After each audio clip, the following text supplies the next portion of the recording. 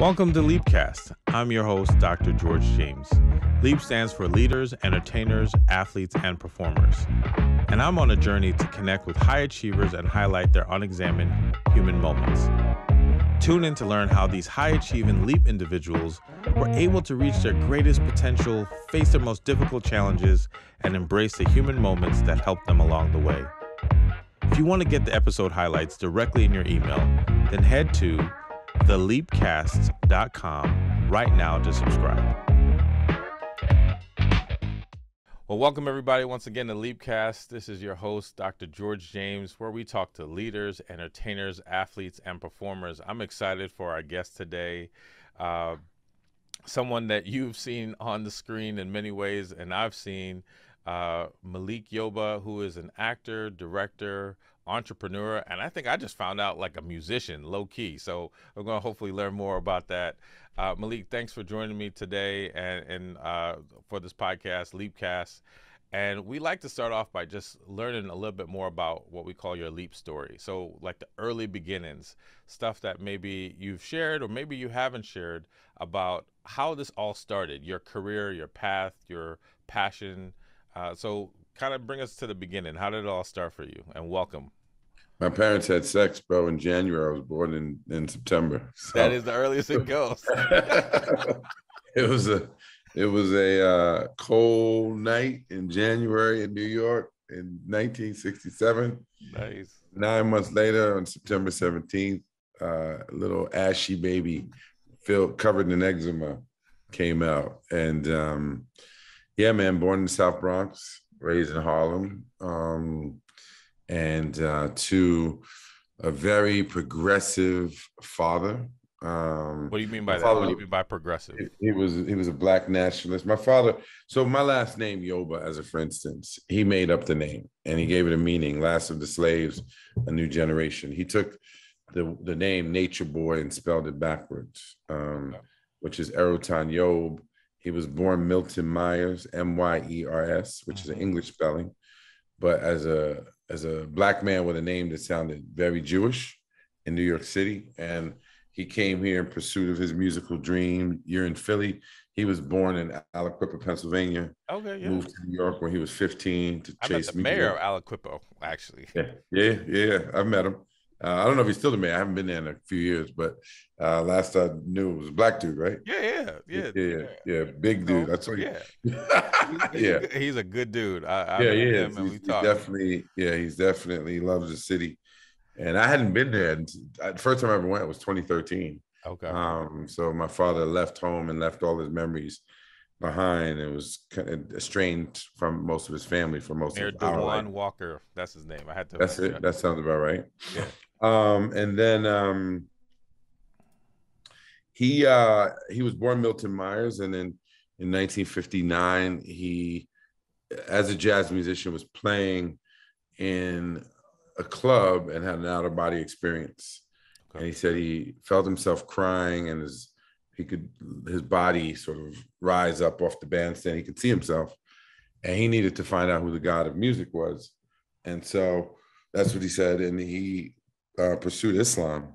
He was born Christian, and uh, he his friends used to call him Nature Boy, based on the Nat King Cole song of the same title. Um, and so that's where he got that from and he was tired of showing up as Milton Myers and people think a white dude's going to show up. So Nature Boy he was, then he spelled it backwards.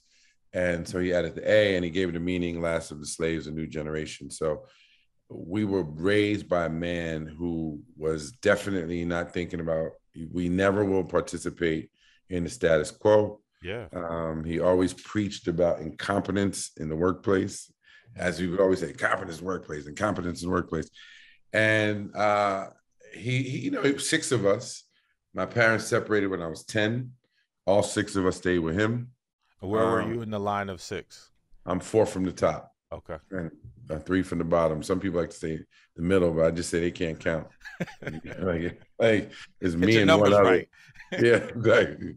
So uh yeah, he was a he was an interesting guy, man. And he, you know, used to say you're gonna hate me as a kid, but love me as an adult.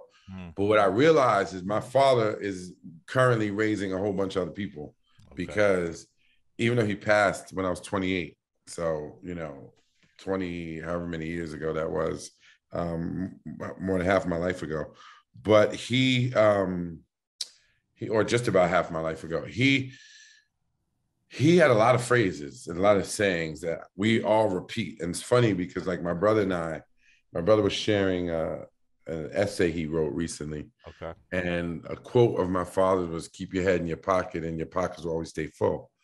Um, and I was like, damn, I forgot about that one. Cause I live by, and it's tattooed right here on my arm. Okay. Uh, build your own generator so when they turn off the power, you still have lights. Nice. So as a yard man, you can't. I was relate. about to say, like, come from, from the island, I know about the generator. Yeah. So you gotta you gotta always have your own and build your own. So um, you know, I had a, a paper route in Harlem from eight years old to 16. So I've always been hustling and Nice. figuring out how to make my own money, um, regardless of what I'm doing uh, as a job. And I've never really, you know, I mean, I guess we all have jobs, but I've never really thought of myself Yeah. as an employee, even if I'm working for someone else, because I've always been thinking about the big picture, always. And sometimes it's got me in trouble. Sometimes people embrace it. Um, so that's a little bit about my beginning. No, I love that, man. And I appreciate you sharing, like, you know, a little bit about, you know, how the past generations influence us, even currently, and, and more importantly, how your father has influenced you and how you think about it. And like that is progressive, right? The thought of him saying, "Look, look, I don't, I don't have to accept what these other people have named me.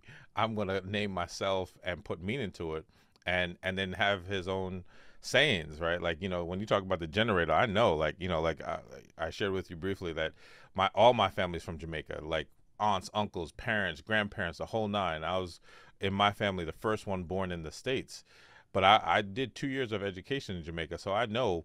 At UWI? Yeah, I Cool. no, no. Uh, before that, I did a kindergarten and first grade. So Oh, all the way primary, so all the way. Yeah, primary school, right? And so I'm knowing them can cut off the light anytime, right? Right. So like I understand that whole thing about you know keeping that light uh, within you. So I mean that that's that that's awesome. So so you went with your father. You said when you were ten. Well, we didn't, I didn't go with him. and My mother left the house. Okay. So my mother, my grandmother, no, he he stayed put. She called the cops, and the cops asked her to leave, which is crazy. Wow. Um, that would never happen. A man with six kids by himself, and at that time he was like fifty, and so the, I don't know how that happened, and I was there, but it happened, and so yeah, it left also deep wounds. I mean, you know, you work in mental health, so as much as my father sort of gave us these foundational principles to stand on, which I'm very, very grateful for, and you know, diligently worked to instill those in my kids, and you know, they they're in their own process. Yeah, that's how it is. the next generation. Uh, Look, I talk about that often. The things that put us on our ground and our purpose, we try to instill that in the next generation. And it doesn't always land the way that we think no, it sir. does. No, sir. No, no, sir. But I'm batting three three hundred. So Okay. or 330 because I got three kids and one she's all about it. The other two, they may be about it. They just aren't showing it to me right now. But the one that is like my twin, she's she's 21 and she's it's so amazing to watch. Like, you know, all the things that I've done, you know, as a kid, like she she does them.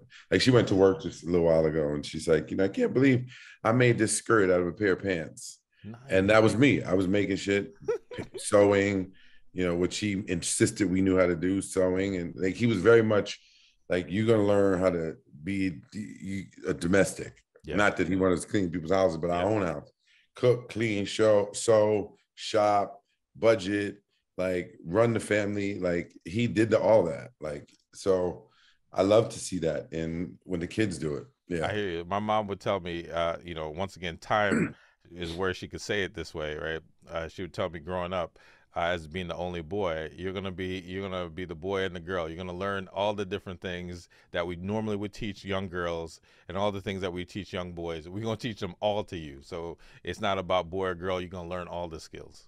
yep.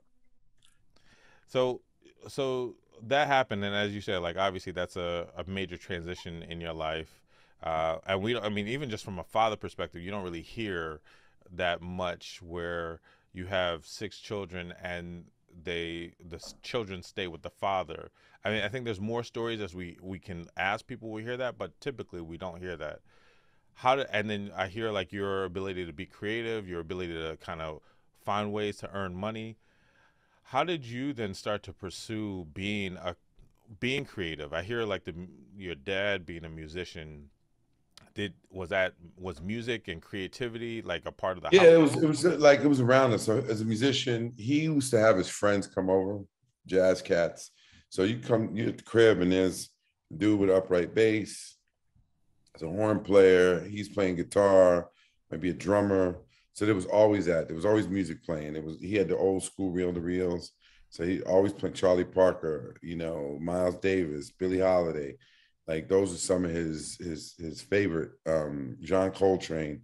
So and I hated jazz as a kid. Like I didn't get it and stand it. I was like, that's fucking noise. but his guitar is the first guitar I picked up. Okay.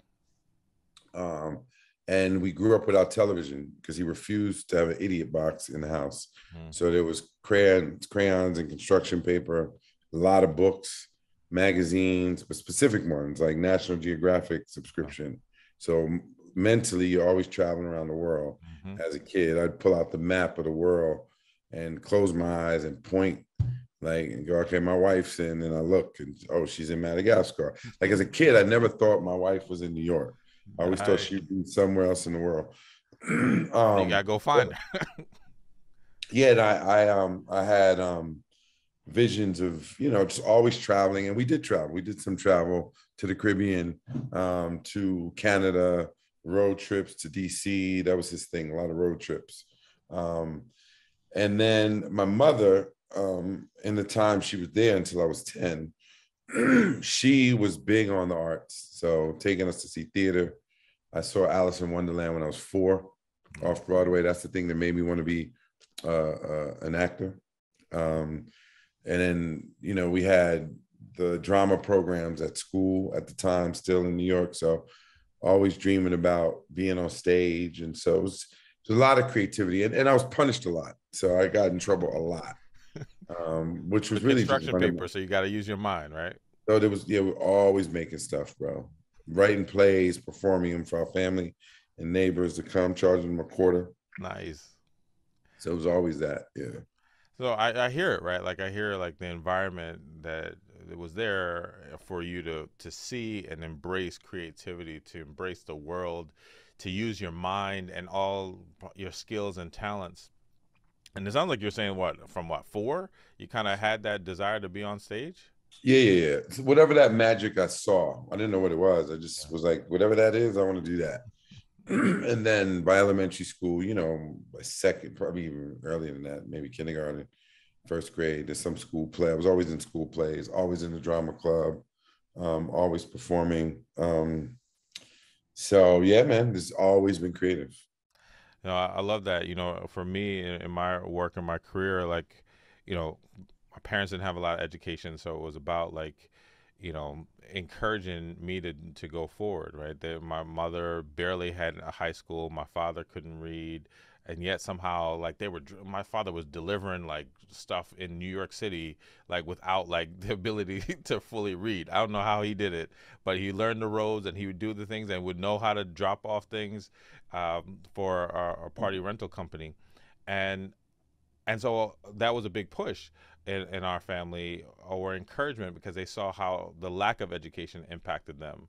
But it was a while before I recognized my own creativity. It was probably until like high school that I recognized I was performing, I was doing other things. Uh, and so it's great to hear how creativity was embraced early and encouraged early in your life. And it sounds like maybe you felt like you could probably do whatever you wanted, at least creatively. Well, it was definitely well, yes and no. Like he didn't want us to do it professionally. Huh. He was like, you got to get a vocation, not just an avocation. That was another one he's saying. Um, but I think that was more about his un his dreams deferred as a musician. And he recognized how hard it was. So he definitely did not encourage pursuit professionally. And he used to say dumb shit like you can't make money off your God given talent. And as a kid, I was like, that's the dumbest thing I ever heard. Why would you tell me that? Yeah. Like, what the hell else am I supposed to do? like, do a job I hate, like you're doing? I'm not gonna do that. So I had that awareness as a Good. kid that I like I'm gonna pursue my heart's desires, and that's the part that always got me in trouble. Because he would say, You always want to take the road of least resistance. And in my mind, I'm like, um, and like, why would you not? Like, not that I didn't like he made just living in the house hard. Yeah. Like there was no because it, like kids woke woke up on Saturday morning and watched t- cartoons. We didn't do that. There was no TV. We woke up and had to get on our hands and knees and scrub the fucking baseboards and clean all the the cabinets where our fingerprints were and the light switches and spick and span. Like had to put the chairs upside down on the table, mop the floor, take the garbage out, clean the garbage pail. Like no chrome or stainless steel was not allowed to be shiny. So you the tub, the sinks, all the fixtures, everything was spick and span. Now get it, there's six of us. So he had to run it like yeah. the military. Yeah. Because he would say, You're gonna hate me as a kid, but love me as an adult. And it's true. Because this world is filled with people that don't get it. Man, and I hear what I was wondering. Like, I hear lots of stories about the Saturday morning cleaning. Uh, with the music with the old with the old hits on. Yep, I was wondering what music was playing for y'all. well, we were allowed to listen to the radio, so at that time there was a lot of Casey Kasem top forty. This is before black before music was was so segmented. Yeah. So those were those are fun memories actually because you listen to Cat Stevens and the Jacksons and James Brown and the Carpenters and you know Crosby, Stills and Nash and Tina Turner and so there was that sort of melange, you yeah. know, of of of music um, that I grew deep, deep appreciation for. Um, and I also hear like the thought of like you know your father being difficult and challenging at times, and probably maybe from his perspective had to uh, I think like in, in this day and age, like we wrestle with like how much of that do we need versus not. Uh, on some level, I see a lot of people who don't have a work ethic because maybe they didn't practice that at home or they didn't know how to like even though you don't want to you need to and you should yeah man that that's problematic especially if you have children with people who don't share that value and i unfortunately or fortunately i guess how you look at it have had that experience where you know you're looked at as the bad guy because you're insistent that your kids like there's no excuses. Like what is that under your bed? Clean that up. What is that behind like what are you doing? Right, like no you're not just gonna put that in the closet no. And dad no. And even if you're not with the other parent like in my case i go over to their crib and i'm like uh-uh. Mm-hmm. no. Like you ain't gonna be this kid going to college.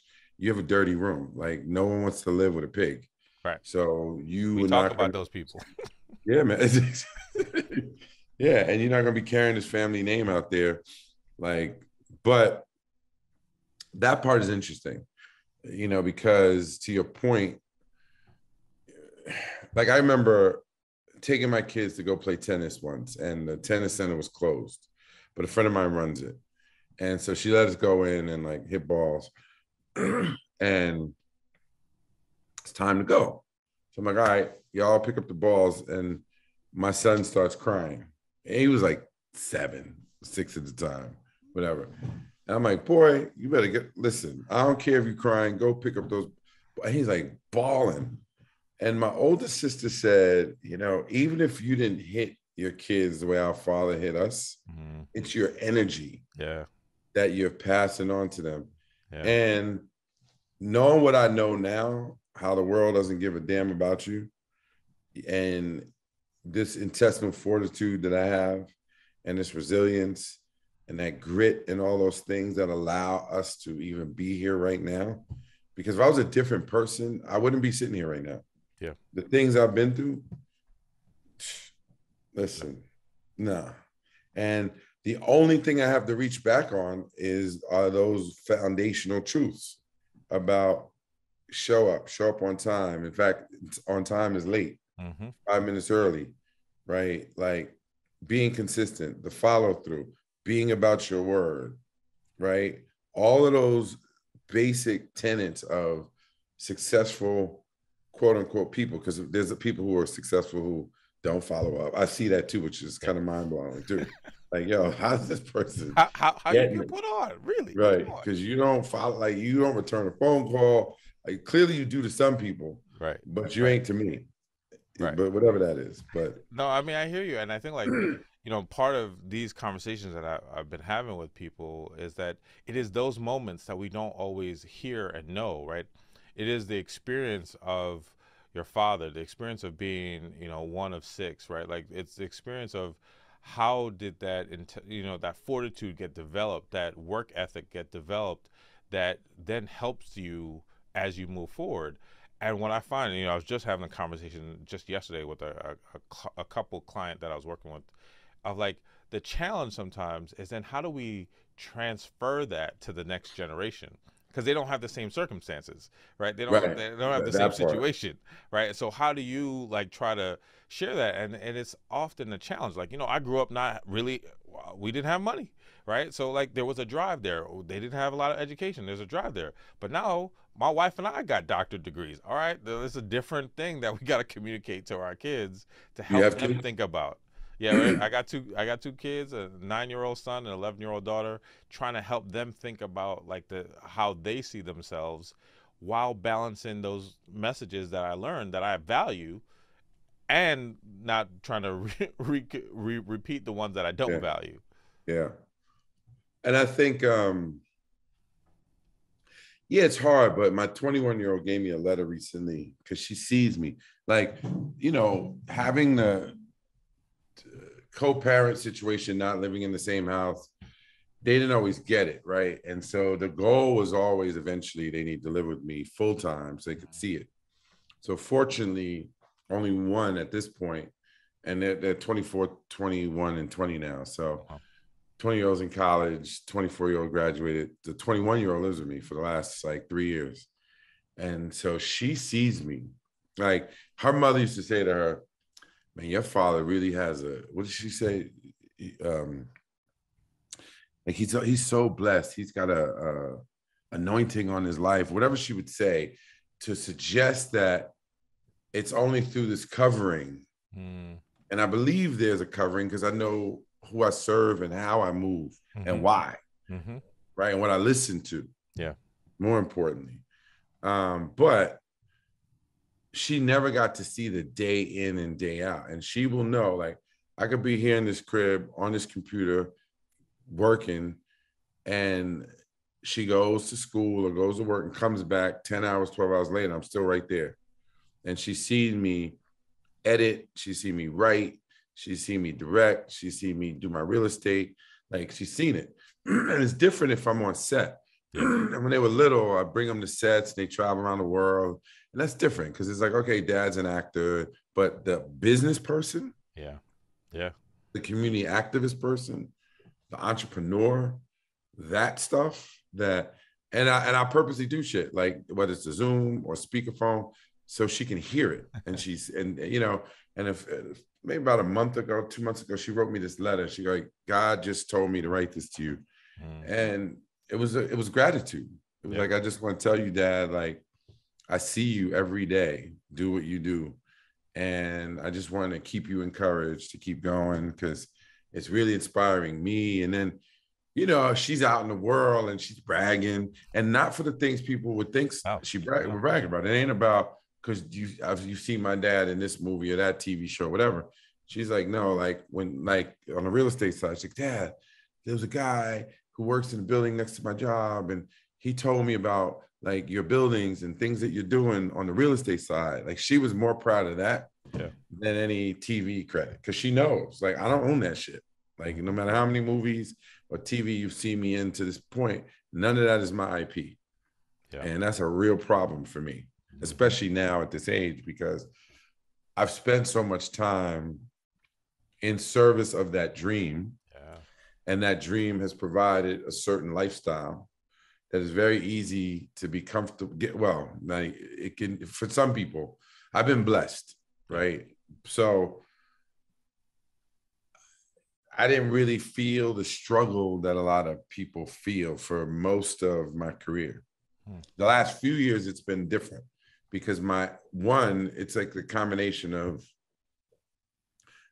the flow in your life is different because of the energy you're putting into these other visions. Yeah.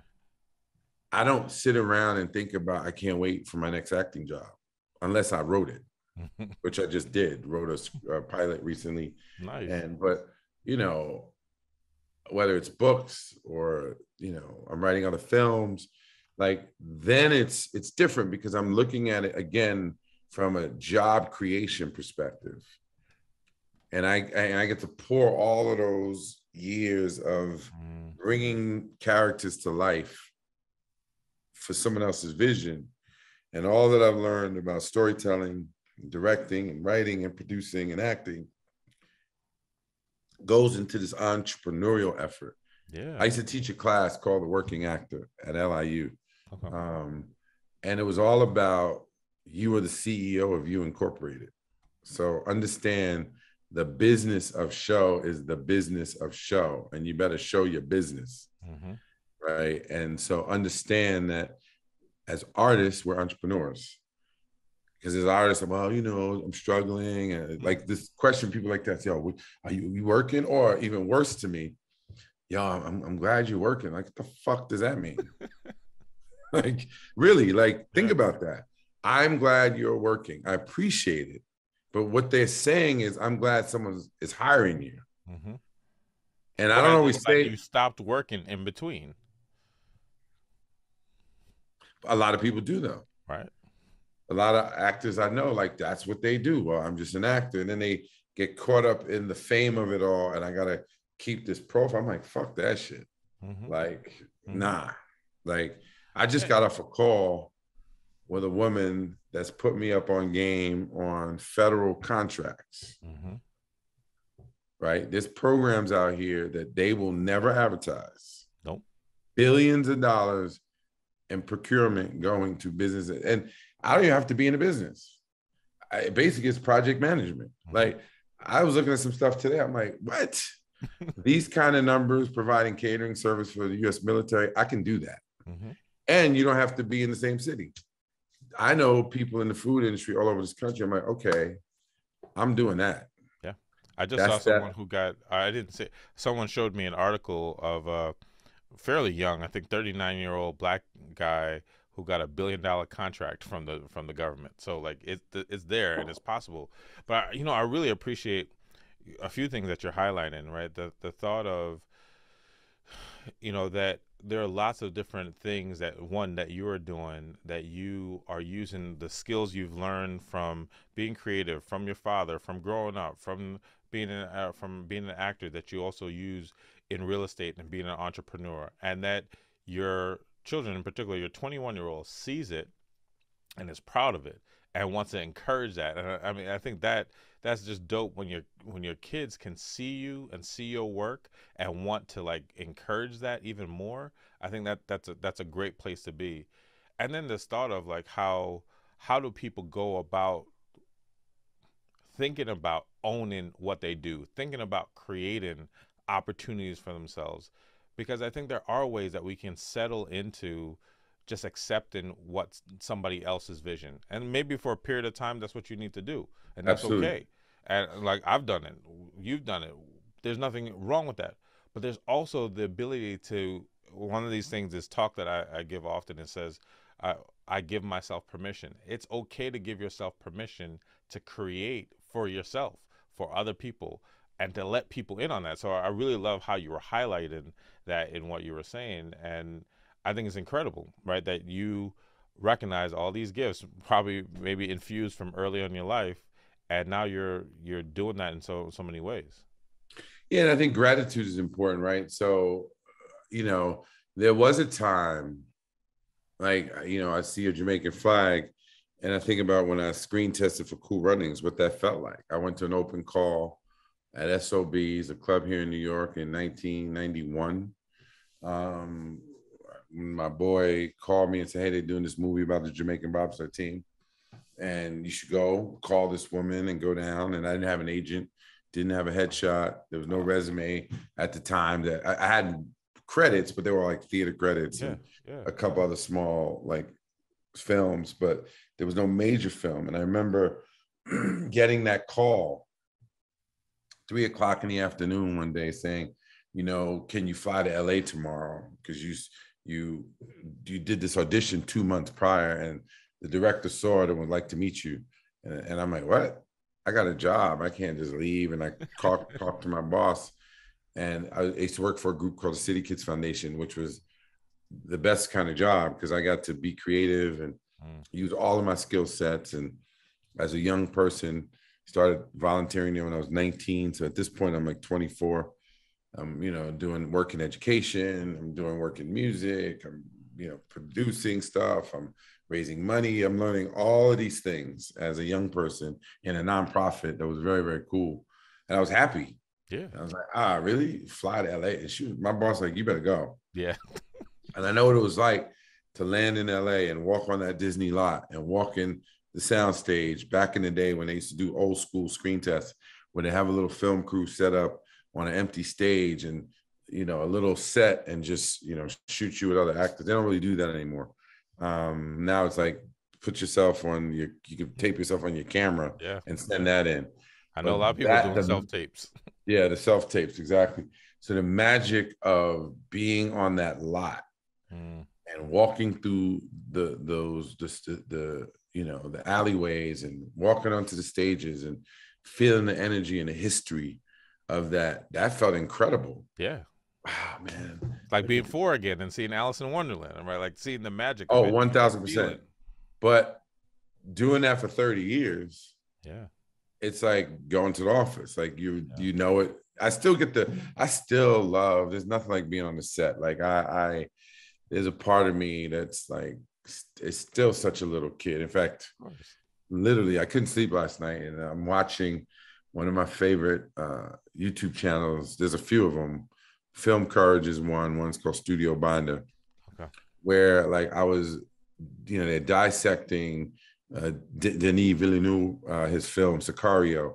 And there's a scene when emily blunt and you know benicio del toro get to the mexican border and they see the the the um the uh the Mexican you know gang members that they're after and just breaking down how he creates the tension Mm.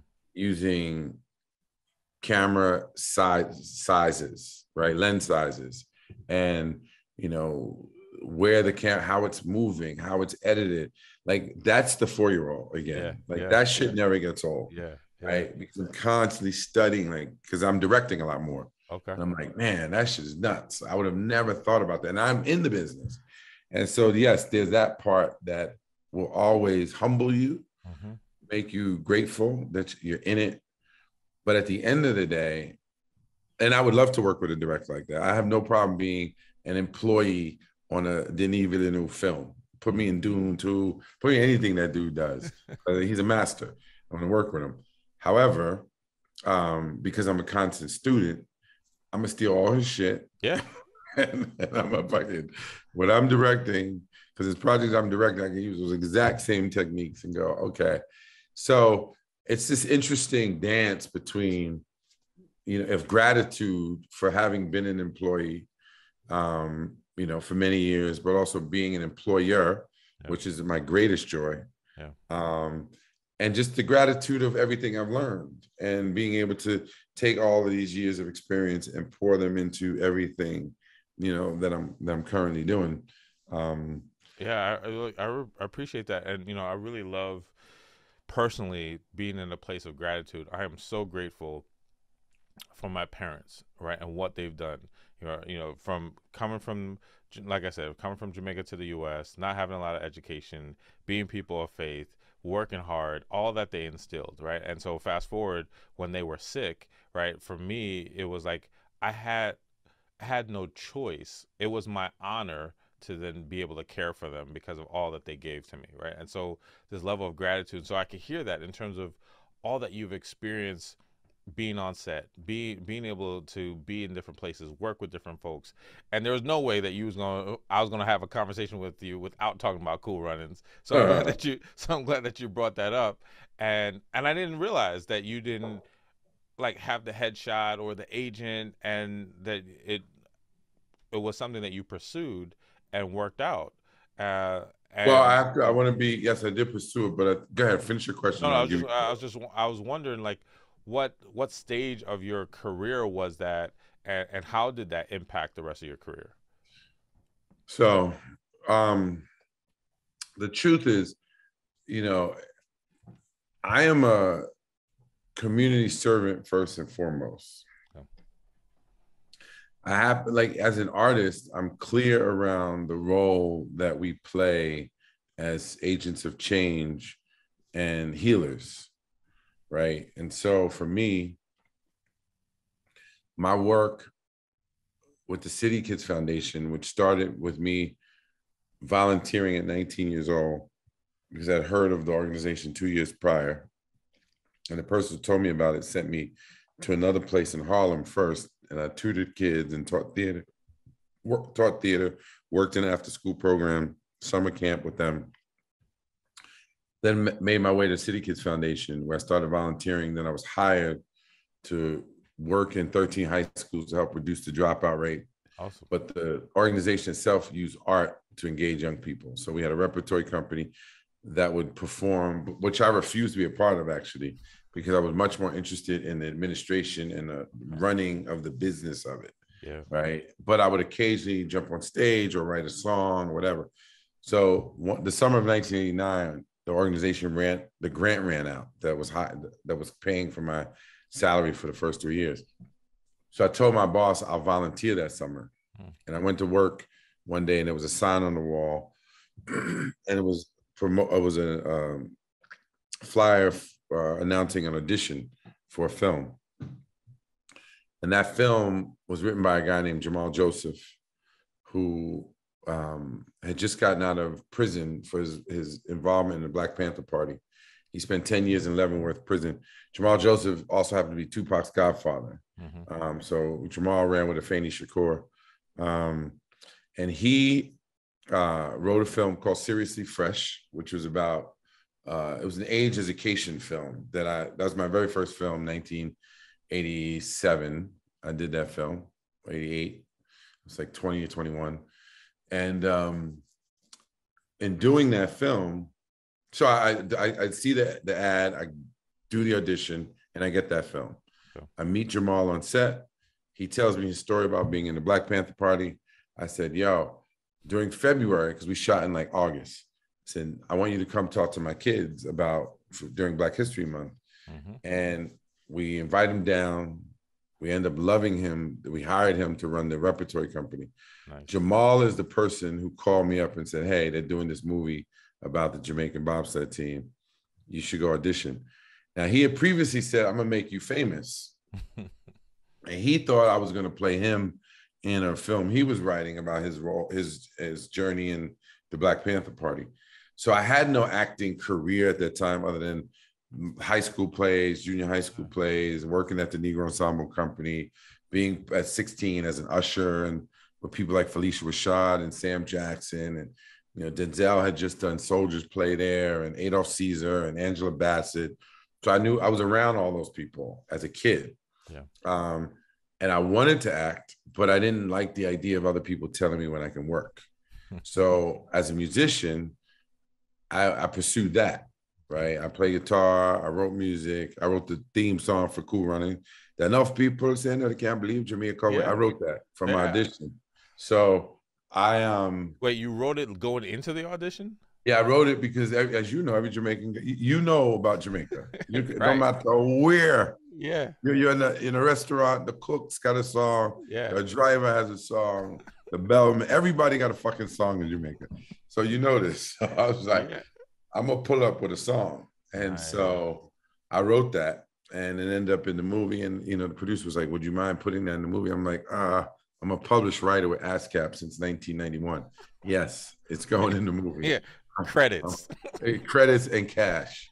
So absolutely, um, but that's how that started. You know, I, I auditioned, mm-hmm. got that movie, and then the career started and I didn't even know it was a career at the time. I just knew I did this movie, And then I went back to my job at City Kids. We had a Saturday morning show with the Muppets at the time, and I was a co-musical director. So I flew back from Jamaica, went to LA because my partner and I we were producing out there, and I'm in the studio, and you know I think, and, and in fact my first agent. So when I got the movie, I had no agent. So I auditioned, and they were like, uh, "You're gonna need an agent to negotiate the deal." Mm. So they gave me a list, and first one was William Morris, and the woman was on vacation, so she wasn't available. I went down the list. The second one was a place called Ambrosio Mortimer, and Sam Jackson at the time and Angela Bassett were rep, rep by them, and because I knew them from the Negro Ensemble Company, I felt like, oh, I know those two people, so I'm gonna sign up with these people. Right, right. And it was like very random. Um, and so that's how it started. And then I went back to work on the music. And at some point, I got an audition for um, New York Undercover. So actually, I done. I think I did the movie first, and then once the movie came out, and you're like this new person mm-hmm. in the ecosystem, people want to meet you. Yeah, casting directors want to meet you, and you know, so I ended up doing these two movies for Miramax did an AT&T commercial in Jamaica with some people from the crew from Not Digicel? Yeah, no, no. It was AT, it was AT&T. And then um, I got Law and Order. Mm. And then did an episode of Dougie Doug's show where I live. And then booked New York Undercover. Uh-huh. So this all happened within five months of the movie coming out. And I was like, well, I guess I'm acting now. And that's yeah. that's kind of how that started. You know what I, what I appreciate about that is, you know, I don't think people often recognize how just being being a good dude, uh, connecting with people, uh, having your passion was really, you know, like you say, be empowering these young folks and being of service to these young folks, and in pursuing that, your gifts, your talents, uh, and ability created relationships and opened up other opportunities that then opened up a career that you wasn't necessarily envisioning at that time and in that way.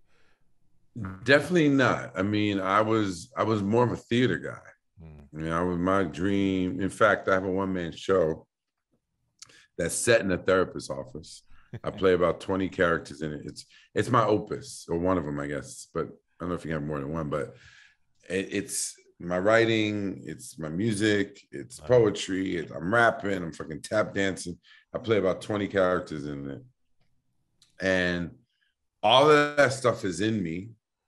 And film and TV doesn't always have an opportunity yeah. to bring this stuff out, especially if you're I'm playing an Italian dude or old Jewish woman or French guy, or like all these things that people would never think to cast me in yeah. because they don't one they don't know me, know me, know me, know me, and they don't have vision. And why would they? It's like me looking at you, like, really? You can do a, a old Jewish woman? Yes, I can. I do all of those things. um, but it's set in a therapist's office on purpose because it's important to see black men vulnerable in those spaces. Yes. And this is something I started working on in 2004.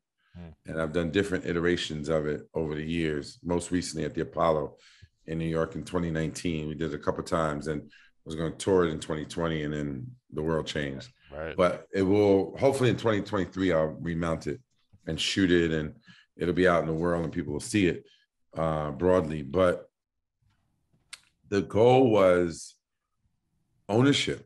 Yeah. And control I just got lucky for 30 years where people keep hiring you. Either you get an offer or you audition for something, and it, it worked relatively smoothly. Mm-hmm. Um, so yeah, it's it's so now I feel like I'm coming back down to earth, as it were, because the work that I'm doing with Yoba Development um, and real estate development is inclusive of filmmaking, mm-hmm. education, all the things I've ever done.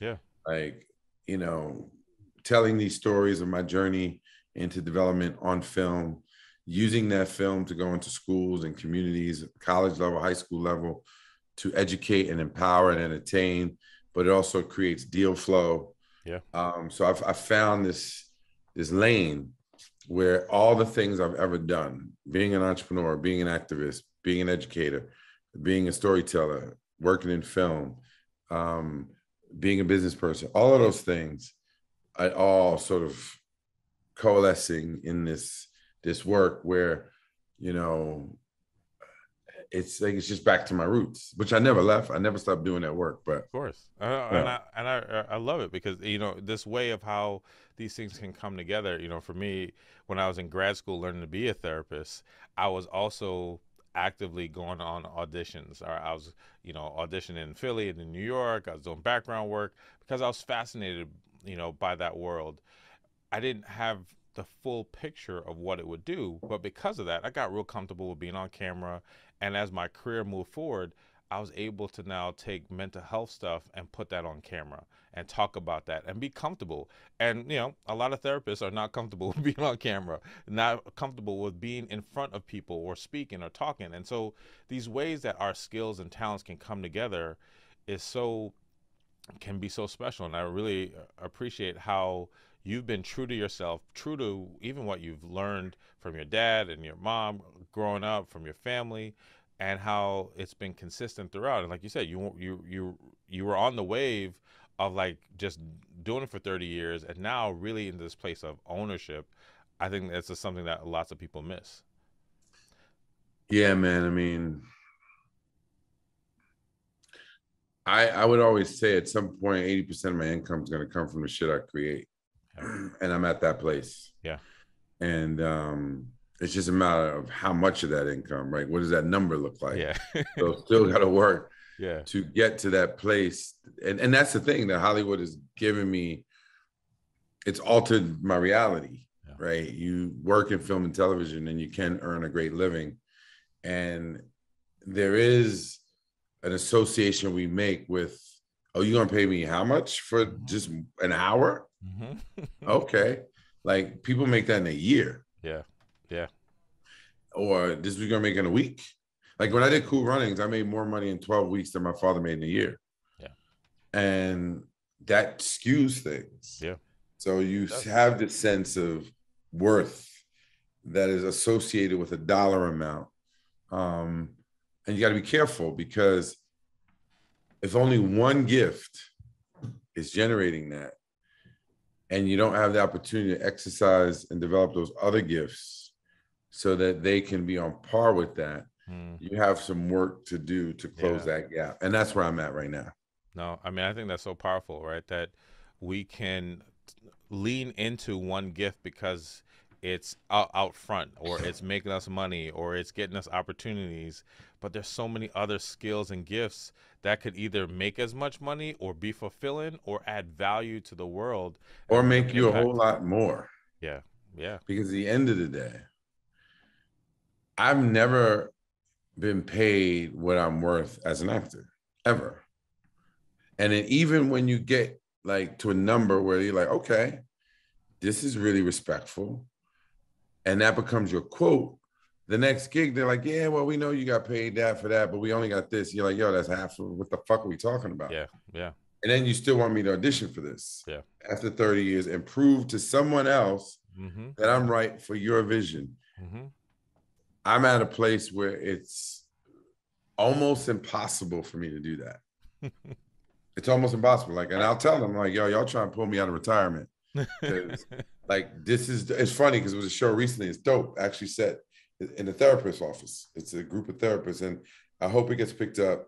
It's a great show written by one of the writers from This Is Us. Oh yeah, and yeah. I, I, I remember hearing about that. Yeah, yeah. Kind of Philly based, but yep, not really. Philly based. Kay Oyegun, dope yeah. Nigerian woman. Yeah. Dope energy. In fact, I tested with this Jamaican woman, um, and it was great. And you know, the whole thing. It's like me and her, and this director I've worked with, and a network I've been on. And I told him from straight up, I was like, yo, uh, this is dope. And so you you trying to pull me out of retirement. She said, What are you talking about? I was like, girl, I'm not really trying to work on other people's stuff, yeah. but you wrote something dope. So I give it a shot. So, you know, it goes down. It's up to me and another person. And it ain't about can I act. It's not about do I have a presence? Do I have a fan base? None of that shit. It's based on somebody else's idea Yeah. on what they want for their thing or for her thing. Because afterwards she apologized. Like, I don't know how this shit even work. Like, this business is so crazy. I'm like, you're right. But please go be just let me come direct on it if it gets picked up. Mm-hmm. yeah. I'll do that. But That's awesome. No, I heard about that show, and I, I- think you know, as a therapist, I, I love hearing how mental health is more Eh, coming into mainstream. It's a part of our conversation. It's a part of seeing black mm. men being vulnerable. It's a part of families, athletes, Yeah. entertainers, because it is so needed. So, in the last few minutes, because I, I appreciate, I, I, we could we could wrap for a minute. I I, I want to really ask you a few a few questions. You've been saying it already. So, the first one is what are what are you currently working on? I've heard development. I've heard real estate. I've heard your own projects. So all, all the say? above, brother. so I have Yoba Development, which is my development company, real estate development company. And I always say the first real estate we own is in our minds. Yeah. and so Yoba Development is a builder of people, places, and things in that order. We do not own the communities that we live in. Mhm. And unless we grow the human capacity to understand the ground you stand on was built by someone, literally, Yeah. not the dirt, the concrete, the asphalt, Yeah. that building you're staring at, those windows, the like the our relationship to the built environment traditionally has been very passive. Right. We just live in these spaces, don't understand that these are businesses around us. So I'm really, really passionate about helping people reframe that part of their own narrative and get involved. And we have to start with young people. So we have school-based programs on a high school, college level, um, partnerships, uh, do a lot of community screenings. And I this is all in the last six months since I shot this doc in called a real estate mixtape, which drives a lot of this work. Um, there's a curriculum that goes with it. So it's creating a lot of opportunity Nice. going to schools, you know, working with returning citizens, you know, formerly incarcerated people, teaching that population Yeah. about real estate development, not just how to be a construction worker, laborer, or but no, how do you develop? Yeah. Right. There's that, and it's leading to actual development deals. so that allows me to be an entrepreneur and activist, uh, a storyteller, all the things that I'm passionate about, right? Entrepreneur, as I said. so it's at that intersection of real estate, storytelling, filmmaking, activism, um, and real estate. Um, but I'm also writing a lot. So just wrote a pilot um, set in the world of New York City real estate development, which we've never seen. It's like The Wire, from the crooked cops to the crooked fucking, uh, you know, city bureaucrats, the billionaires, down to the dudes literally on the ground, Mhm. the laborers, like those. That's the cleanup crew Yeah. on construction sites, right? And this this series will track the story of a guy who comes from prison. Get his first job out of prison is as a laborer on a construction site, and he witnesses the death of someone uh, who falls on the site and the cover up, and and his best friend ends up dying on the site, and that spurs him to really learn this business. He becomes a developer, and it's essentially my journey, right? Teaching, you know, teaching people from the ground up all the layers of this business. So there's that. Um, there is uh, a book that I'm writing, which is part memoir, part um, just reflections, self-help elements. There's a Mhm. curriculum that'll go with that because that'll go into schools. Um, you know, development project has led to redevelopment of a school in the South Bronx and sports and wellness complex, affordable housing. So, in a true Yardman style, Yeah, I'm uh, I'm about to say, how many job you have? but you know what it is, brother. Like, I love it though. it's all about teamwork. It's about partnerships. It's about holding vision. Yeah. and everyone doesn't have the vision, but there's a lot of great workers that are strategic and people who, you know, they don't see everything I see and I don't see everything they see. And it's that symbiosis that's created by working together to execute. Um, but it's, you know, it's a must. You know, it's like we I all run appreciate die. I appreciate how you're also like, I'm gonna empower the community. I'm gonna build up other people, and I'm also gonna be able to take care of myself and my family. Right. It, it doesn't have to be either or, right? And I Right. think like I love really hearing that that's what you've been doing. If you could work with anybody, you've had the privilege of knowing people, working with different people, and this could any industry, right? Uh, who would you want to work with, or who would you want to collab with? so many people, man. I mean, you know, it's funny because I, I wish I was telling a story the other day when um, you know, when New York Undercover was the hottest shit on television, especially for black and Latino households. And everybody wants to meet you, this studio head, that studio head. I go to these meetings and go, so what are you excited to work on? I'm like, well, I'm opening a restaurant and I got this record label and I got this. I talk about everything but the film business. And I remember the first time I did that with the head of Sony Pictures, and I leave with my manager. She was like, don't ever fucking do that again.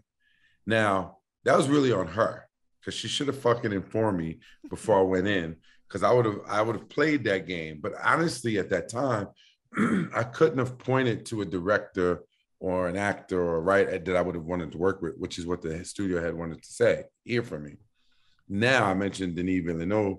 I mean, the Christopher Nolans of the world, the, you know, um, Alfonso Inarritu, like there's so many like amazing directors and writers and visionaries that I study Mm, um, that I would love to work with. I wish I could have worked with Alfred Hitchcock. I wish, yeah. you know, I mean, there's so many people um, as as artists um, that that I would love to work with. Um, Denzel, like just thinking about like you know, just seeing people's process. Like I'm such a Yeah. geek when it comes to that shit. Like, how do you do this? Yeah. and I've had a great fortune to work with a lot of amazing people. So on that side, but on the business side, there's so many people too, Mhm. like in every aspect of it. People in finance that I sit at their feet. Like I got into the development game because two young brothers, they're both younger than me, gave me a seat at the table 15 Nice. years ago. Nice. And I study under these guys. Like, like don't matter if you 10 years younger than me, Yep. you put me up on game like you know like you all those years i was on set you were studying this shit yeah. so i'm like the humble this i just got off the phone i mean zoom with a woman like i told you who's put me up on a federal contract game? I'm like are you kidding me? Hmm like and they don't promote this? I'm like yo that's now part of what i'm going to be doing is putting other people up on this game. So i'm constantly learning and surrounding myself with people who know more than me. Um, i'm on my way right now after this to the harlem to work with a group. It's going to be the first property management initiative in public housing in new york city Wow.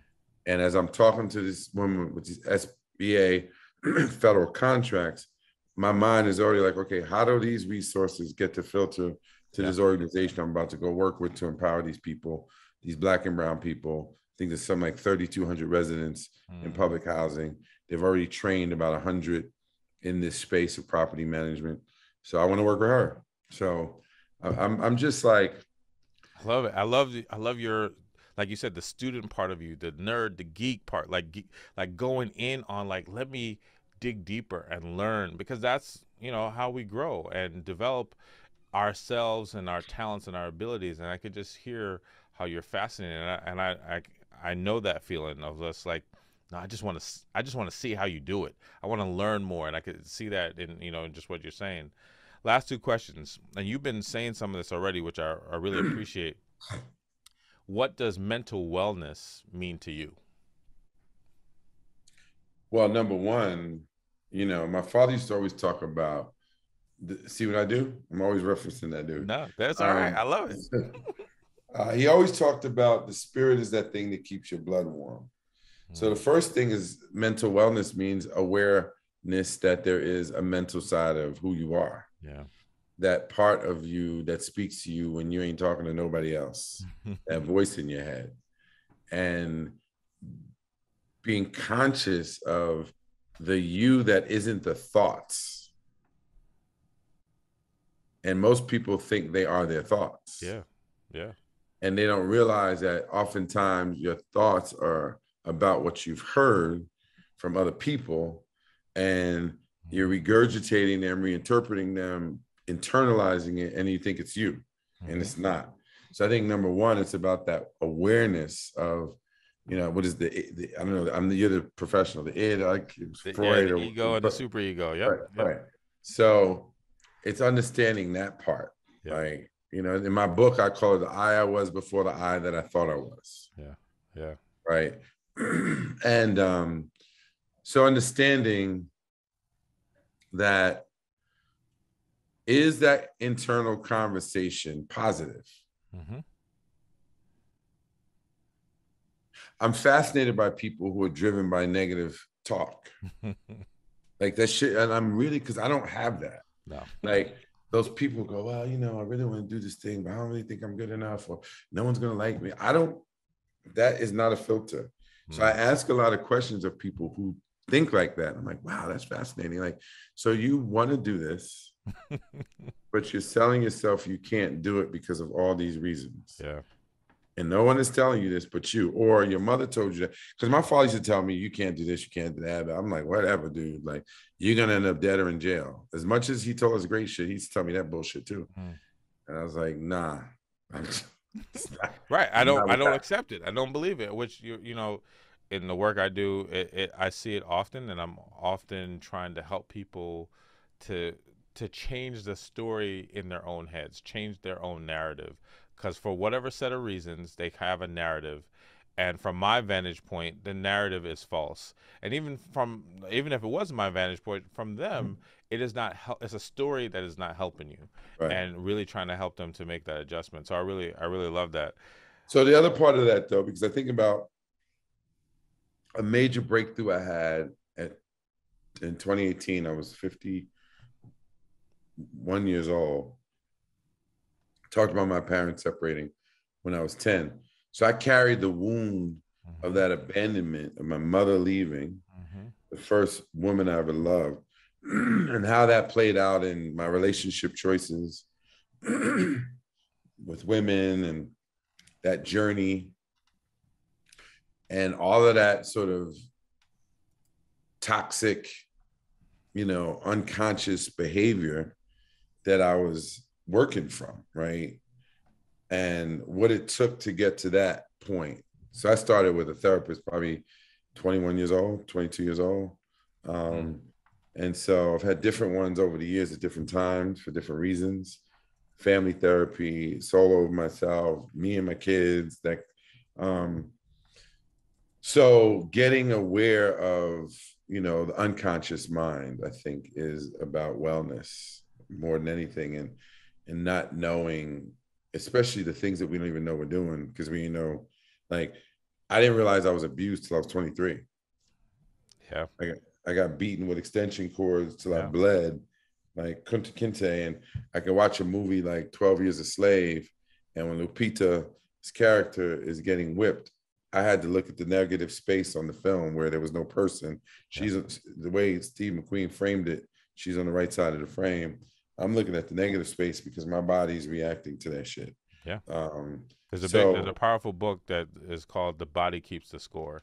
absolutely. Yep. I know that. How we get triggered and all these things that happen to us, and you know, like, you know, the stuff that you're sharing now, I appreciate because, like, if we had a second conversation, you know, this is do just that. our first date, right? This is our, like, all right. I would have. that.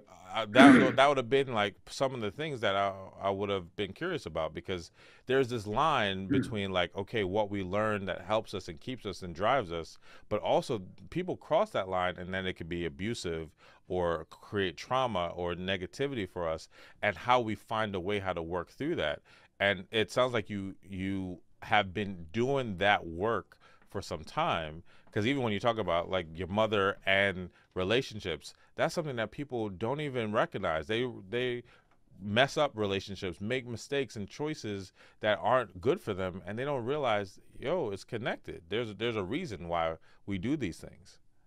Yeah. so i appreciate that, Another that- question. that- yeah so the, the, the last question is uh, and i think once again you've been sharing this what mental wellness advice would you give to your younger self as young as yesterday or any time before that Well, I feel really fortunate that I started practicing Buddhism when I was 16. Okay. I started practicing Nichiren Shoshu Buddhism, which um, teaches that for every reaction there's a reaction, right? The law of cause causality, cause and effect is really the undergirding of it. So learning as a teenager how we think is an action, so there will be a reaction, and that is what creates your reality. Yeah. So I feel fortunate that I was exposed to Eastern thought very early on. You know, I was reading, you know, Gary Zukav, Seat of the Soul, or Deepak, or Wayne Dyer, or Louise Hay, Yeah. all that shit as a teenager. Wow. So, and that's thanks to my mother. I don't think my father ever got to any of that stuff. As if for him, it was all about the Quran. Yeah, yeah. Um, so I feel like that understanding set me up to always stay open hmm to constantly seek wisdom and knowledge of self and reading books on psychology. So um I don't know if I would do anything different than you know because I feel like my younger self allows me to be who I am today and and Yeah. honestly that younger self put me in a lot of spaces because people couldn't believe I was young like the age I was because of what I understood. So um, I No. think that's yeah, I think that's No. I hear- I hear that, and you know, Malik, I, I really appreciate like all that you've shared, all that that you've dropped, uh, and in the way of you know what sticks out to me is just your drive once again to impact the community, to empower the community through your gifts and talents, and know that like that's also a way for you to earn money for yourself and your family, and whether it be TV and film, music. Uh, uh, real estate development, entrepreneurship, or all the above that you're you're about, you know, all of the job done, right? Like all everything that you could use your skills to do, uh, you're going to do it, and you're not going to let hold you know hold back or be uh, resistant. So I, I appreciate you sharing, being here today, uh, spending this time with me, and. Uh, before we go, uh, is there any last thoughts? Oh, well, before I say that, I look forward to an opportunity for us to continue to connect. Uh, I love what you're doing, and I think there could even be opportunities for us to collab or figure out ways. One thousand percent. support people. One thousand percent. And so I look Yeah. forward to figuring that out and us working together. Uh, and with that, is there any last thoughts that you have uh, before? Now I'm proud of you, brother. I'm glad that you're doing what you're doing. I'm happy to see that Jamaican flag Yeah, man. prominently displayed on your left side there, even if it's a little out of focus. I like it. It's very cinematic. Oh, you done know, You're done know. You talk about the roots. Jamaican, yeah, man. Yeah, no, man. I mean, yo, you know, this is just part one. We'll do a part two, and you know, we'll link up. Um, Yeah. I, I'm actually gonna. I know there was emails going back and forth, but so you have my direct. I'm gonna send it to you right now. I appreciate that. Send me a um. might I'll- I'll- grab I'll- it now before we end this. Good, good. And I will, uh, I appreciate that. I will hit you up right now so that you know. And look, man, I'm I, I'm proud of you too, man. Like the way that you are continuing to go after it, and everywhere you go, like you make an impression, and people see it, and and that your daughter is seeing it, and that to me is powerful because that's what legacy is about. You know, I, I'm I'm striving to create a legacy that my kids see now, not like you know Yeah. when I'm gone, and that they like, oh, you know, your dad did that, and so I love what you're doing, so I appreciate that. Yeah, man. You got it. All right. Respect, Yeah. All right, man. Thank, right, thank you so much. Yeah, All I'll All right. talk to you. Let's. Thanks. Wow. What an incredible ride we just went on with another great member of the Leapcast community. I appreciate you listening and hope you got some tangible value from the episode. Please let us know what you think by leaving a comment, rating, and review. As always, please don't forget to subscribe wherever you listen to podcasts. This is Dr. George James, and I'll see you next time.